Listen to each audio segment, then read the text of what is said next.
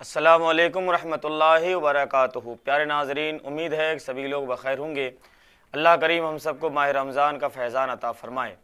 प्यारे दोस्तों, मेरे आका करीम सरवर कौन वसल्लम ने फ़रमाया कि एक रुपया सदका लाखों रुपया से बेहतर है। तो साहबा कराम ने कहा, या रसोल्ला सल्ला वो कैसे? आका करीम सल्लल्लाहु अलैहि ने फरमाया कि देखो, एक के पास लाखों रुपया होता है उनमें से वो दो लाख रुपये अगर सदका कर दे, उसके बाद फिर भी बहुत पैसा बच जाता है। लेकिन एक शख्स वो है जिसके पास सिर्फ़ दो रुपया होता है।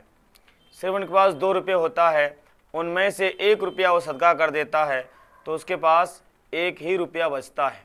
तो प्यारे अजीज़ों, और आगे मेरे आका सरवर कौन अलैहि ने एक दूसरी रिवायत में इरशाद फरमाया कि ज़्यादा माल वाले से कम माल वाले का सदका ज़्यादा बेहतर है। इसलिए कि ज़्यादा माल वाला जो है सदका निकालता है, जोड़कर हिसाब लगा कर निकालता है। लेकिन कम माल वाला जो सदका निकालता है, ये कोशिश करके निकालता है, अपनी जद्दोजहद से निकालता है।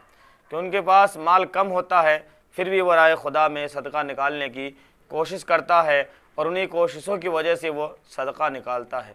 तो उनके सदक़े को, ज़्यादा माल वाले के सदक़े से अफजल करार दिया गया है दोस्तों।